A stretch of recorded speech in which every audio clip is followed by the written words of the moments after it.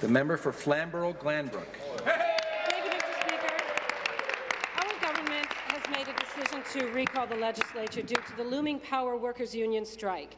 Now, this strike would lead to a shutdown of nuclear power plants and hydroelectric stations, creating an untenable situation where we would face regular power outages.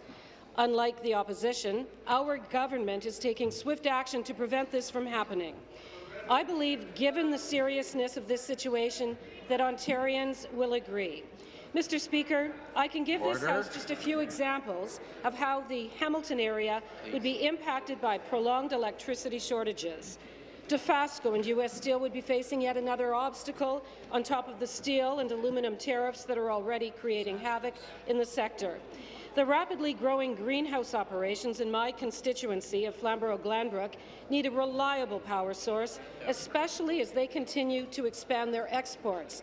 Their livelihood depends on a reliable power supply. The holiday season is a critical time for the many farm markets in Flamborough and Glanbrook. A long blackout would cause a hefty dent to their bottom lines at the most critical time of the year for their businesses. The same holds true for dozens of small businesses.